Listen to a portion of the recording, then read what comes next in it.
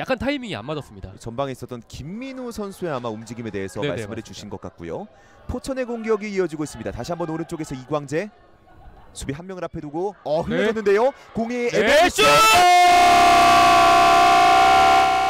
경기 이른 시간 포천이 선제골을 만들어냅니다. 스코어 1대 0. 네, 지금 굉장히 지금 어, 전방에서 방금 패스 굴려주고 흘려주고 어, 굉장히 센스 있는 그런 감각적인 장면이 많이 나왔는데 이게 골문 쪽으로 빠졌어요. 네. 어떻게 보면 당진 수비진에서 좀 집중력을 잃은 장면으로 볼 수 있는데 이걸 놓치지 않고 골로 연결을 했습니다. 선수들의 호흡이 빛났었던 포천의 공격 과정 결국에는 김한빈의 득점이 터졌습니다. 아 이렇게 되면은 결국에는 이른 시간 전반전 14분 정도 흘러가고 있는 시간에 포천이 리드를 만들어냈네요. 네, 지금 포천이 전반 14분 지금 넘어가고 있지 않습니까? 네. 그냥 좀 어떻게 보면 이른 시간이에요.